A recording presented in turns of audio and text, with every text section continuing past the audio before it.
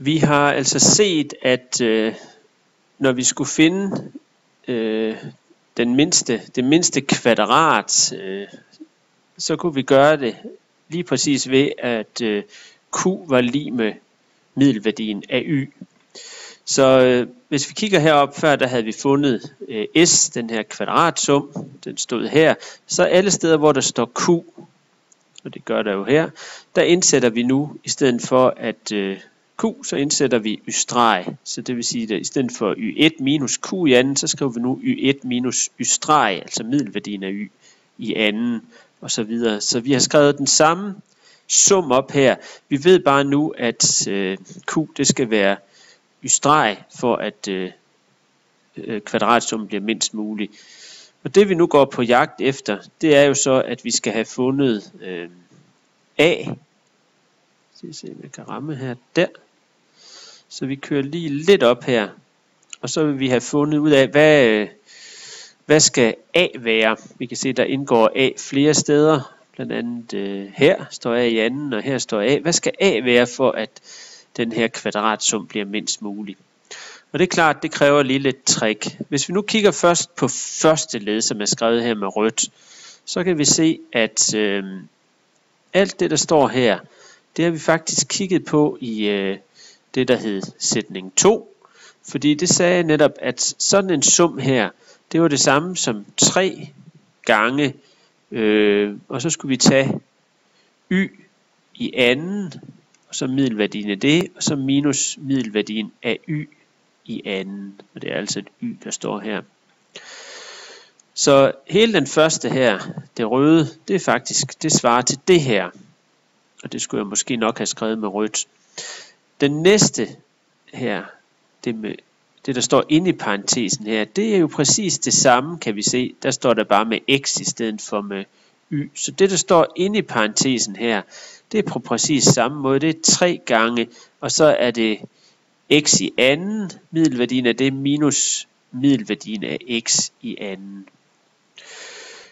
Den sidste parentes, den er vi lige nødt til at kigge lidt på. Så hvis vi lige kigger først på det led, der står her, øh, og så prøver at gange de to parenteser sammen, så står der altså y1 minus y streg gange øh, x1 minus x streg, og hvis vi så lige regner på det, ja, så er det jo bare at gange de to parenteser sammen, så det må være y1 gange x1, og så øh, minus y1 gange x streg, y1 gange x streg, og så bliver det minus øh, y streg gange x1, og så bliver det endelig minus y streg gange minus x streg, det vil sige, så bliver det plus øh, x streg gange y streg.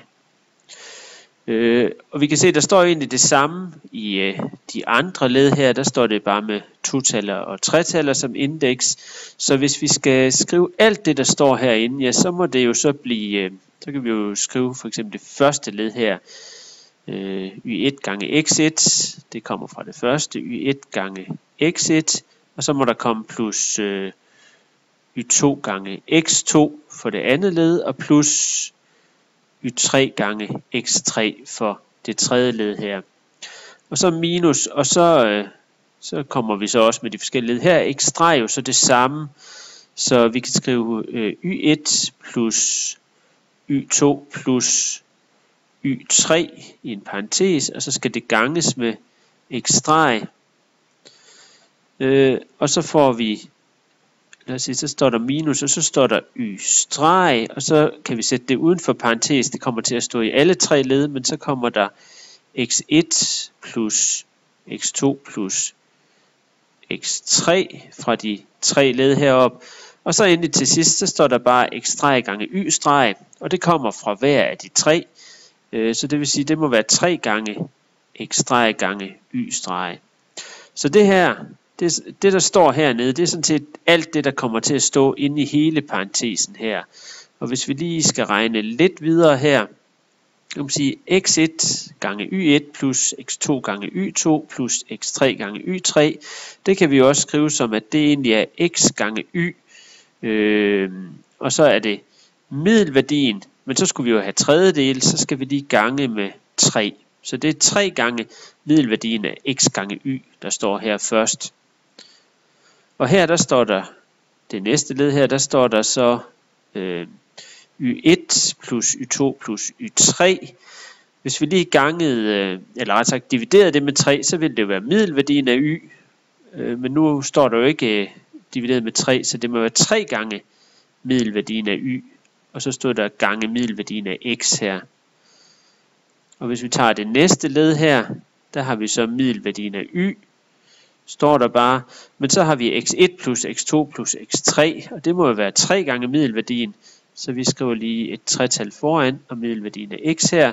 Og så til sidst, der står der 3 gange middelværdien af x gange middelværdien af y. Og hvis vi så kigger, ja, så står der jo øh, minus 3, og her middelværdien af y gange middelværdien af x, det kunne også være omvendt rækkefølge, og så plus 3 gange middelværdien af x gange middelværdien af y. Så øh, hvis vi lige ser her, så kan vi lige forkorte. Så kan vi sige minus og plus, de går ud med hinanden, og samlet så får vi altså her for det sidste led, Lad os se her. Så, så må vi bare få, at det er 3 gange middelværdien af x gange y, og så minus 3, og lad os skrive middelværdien af x først, gange middelværdien af y. Man skal altså passe på her, fordi øh, middelværdien af x gange y, det er altså, hvor vi ganger x1, eller hvor vi siger x1 gange y1 plus x2 gange y2 plus x3 gange y3 tredjedele.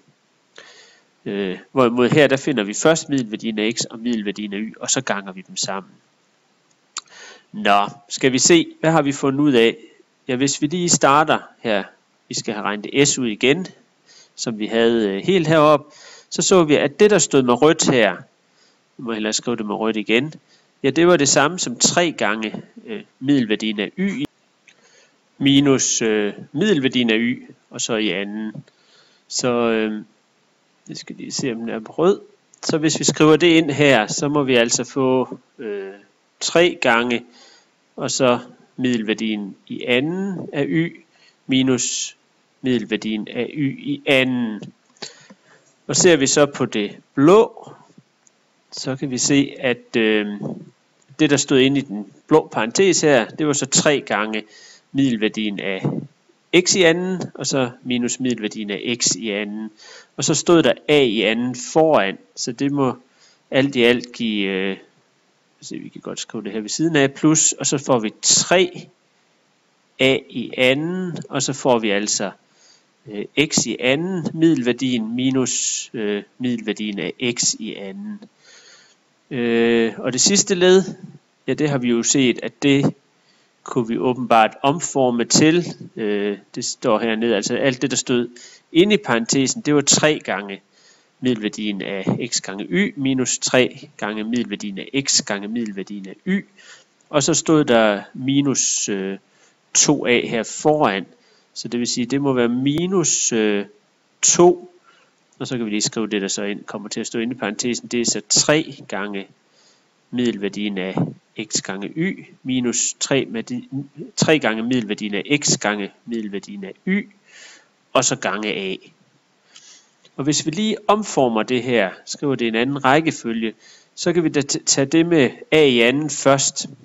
Så ser vi, så står der 3, og hvis vi lige vil have a i anden til sidst, så står der parentes øh, middelværdien af x i anden her minus øh, middelværdien af x i anden, og så stod der a i anden, det var det her led, og så tager vi det led kun med a, det står altså hen til sidst, så det vil sige, det er minus 2, øh, og så står der 3 øh, x gange y, middelværdien af det, minus 3 gange middelværdien af x gange middelværdien af y gange a, og så til sidst så står der øh, det led med rødt, og det vil sige, så står der 3 gange øh, y i anden, middelværdien minus middelværdien af y i anden. Og det kan vi se, det her, det er jo faktisk et andengradspolynomium i A. Altså hvis vi lader A variere, så er der noget med A i anden og noget med A. Vi kan se det, der står foran A i anden, altså det vi plejer at kalde A. Her, det må så, nu skriver det med store A for at skældne her, det må være 3 gange middelværdien af x i anden minus middelværdien af x i anden. Og det, der står foran A bar, altså vores B-led, det må så være minus øh, 2 gange, og så står der 3 x gange y øh, minus 3 gange middelværdien af y gange middel, eller middelværdien af x gange middelværdien af y. Og vores c-led, det er det uden af her, det må så være 3 gange middelværdien af y i anden minus middelværdien af y i anden. Øh, og vi har tidligere set, det der står her, det, det vi har a, ja det svarede jo egentlig til det, der stod inde i den blå parentese. Det er alt sammen noget i anden, så a må være positiv. Og det betyder jo, at så vores parabel, den må vende grenene opad. Så den må gå sådan her. Og vi kan se, at øh, den må have et minimum. Og ligesom vi plejer, så kan vi jo finde minimum ved at sige, at øh, x det må være lige med det toppunktsformen for parablen minus b divideret med 2a. Og hvis vi lige sætter ind her, minus og b, det er jo så minus 2a, og så står der 3 gange x gange y, middelværdien minus 3 gange middelværdien af x gange middelværdien af y, og det skal så divideres med 2a, og det vil sige, det er 2 gange 3, og så står der i parentesen øh, middelværdien af x i anden minus middelværdien af x i anden. Og hvis vi lige omformer en lille smule her, så kan vi se her, at der står 2 gange 3 nede i nævneren, men der står faktisk også 2 gange 3, fordi der er et tretal i begge led heroppe i tælleren. Samtidig så er der to minuser, så det ender med at give et plus, og det vil sige, at vi får simpelthen, at øh, minimumsværdien den antages, øh, øh, så bør det være x gange y, middelværdien af det, minus middelværdien af x gange middelværdien af y, og så divideret med, og så hernede der skal stå x i anden, middelværdien minus øh, x i anden. Og nu har jeg godt nok skrevet x her, fordi det plejer vi, men det vi jo egentlig finder, det er jo faktisk lille a, fordi det er simpelthen det lille a, hvor at øh, vores øh, sum, kvadratsum s her, den er mindst. Så vi har faktisk nu fundet en formel for a, altså man kan sige hældningen af den bedste rette linje øh, ud fra de her punkter. Den kan vi finde ved den formel her. Og vi kan faktisk også finde en formel for b, fordi vi så jo, hvis vi kører godt op her, at øh, b, den indførte vi, den var simpelthen øh, q minus øh, a gange middelværdien af x, og vi så, at, at øh, vores kvadrat var mindst, når q var lige med y streg. Så vi kan sige, at b det er lige med y streg, eller middelværdien af y minus a gange middelværdien af x. Så hvis vi lige skriver det også her, så får vi simpelthen, at øh, y det er, eller b det er lige med middelværdien af y minus a gange middelværdien af x. Og så har vi altså en formel også til at finde b øh, for mindste, ved mindste kvadraters metode, så vi kan simpelthen med en lommeregner, eller hvis vi har rigtig god tid med papir og blyant, kan vi finde, hvad er a og hvad er b for den bedste rette linje.